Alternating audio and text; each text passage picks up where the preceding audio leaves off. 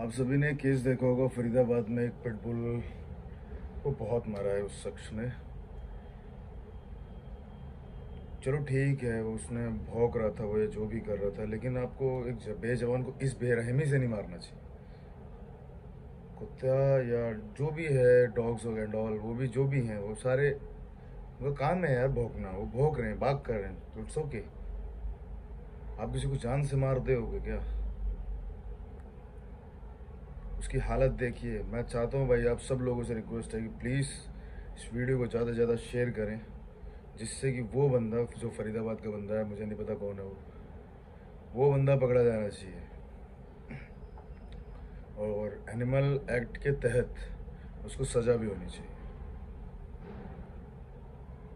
क्योंकि इस तरह से मारना, उसका पूरा जबड़ा, ये सब लाइक आपने वीडियो देखी होगी आप सब लोगों ने? खुद देखी होगी वीडियो यार आई नो हालत देखी थी उसकी। एक बेजवान है वो। आपके और हमारे सर में दर्द होता है तो हम बोल देते हैं, हमारे सर में दर्द हो रहा है, दवाई दे दो दबा दो। या मैं लेटर हूँ। उनके सर में दर्द होता रहे तो उनको पता भी नहीं चल पाता तुम लोगों को कि तुम क्या कह रहे हो, कहना चाहते हो। एक कोने में बेचारे पड़े होते हैं। जो दे दोगे खा लेंगे। पड़े रहेंगे। इधर से उधर भगाते रहोगे डॉग्स हैं यार ब्रो। वो भी आज सच्चाई बता दूँ, अगर जो जन्म हम लोगों का, इंसानों का है, वो इन्हीं लोगों की देन है।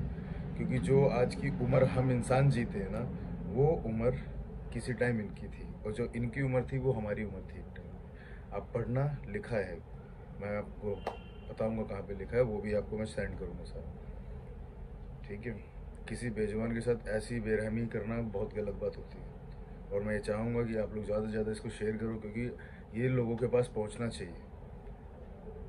क्योंकि पेट्स या कुछ भी एनिमल जो भी पशु है या कुछ भी है, आप उनको क्यों कष्ट दे रहे हो? मार क्यों रहे हो जान से?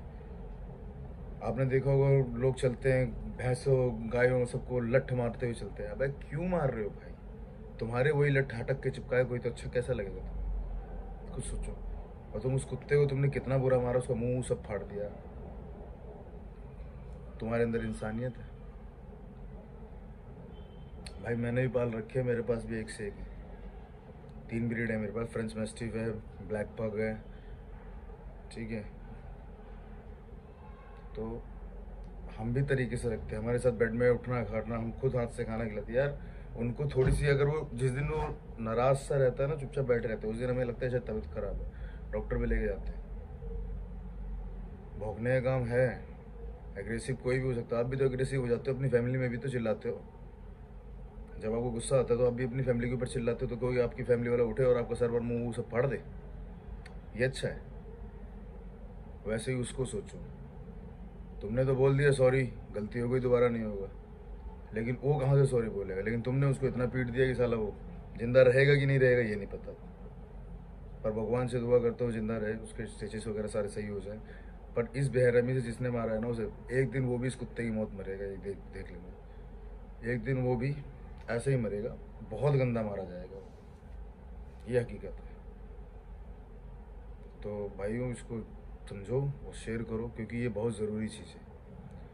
ये हमारी जो छोटी छोटी सोशल मीडियाज़ है ना, एक पिटबुल ने ये लड़की के ऊपर भौंका तो उसको, उसके पिता ने मार मार के अधमरा कर दिया। ब्रेकिंग न्यूज़ बनाना आपको एक सेकंड में आ जाता है, आप सारे न्यूज़ चैनल वालों को सोशल मीडिया वालों को। एक बार जाके भी तो देखा करो ना, क्या हुआ था? वो तुमसे नहीं होता। सिर्फ़ ब्रेकिंग न्यूज़ तुम्हारी आनी चाहिए, तुम्हारी टीआरपी चलनी चाहिए, तुम्हारा काम होना चाहिए दैट्स इट खत्म। तो प्लीज़ ज़्यादा से ज़्यादा इसे शेयर करो। आप सब लोगों से हाथ जोड़ के विनती है। और एनिमल केयर वाले प्लीज़ उस डॉग को अच्छी केयर दें। Thank you so much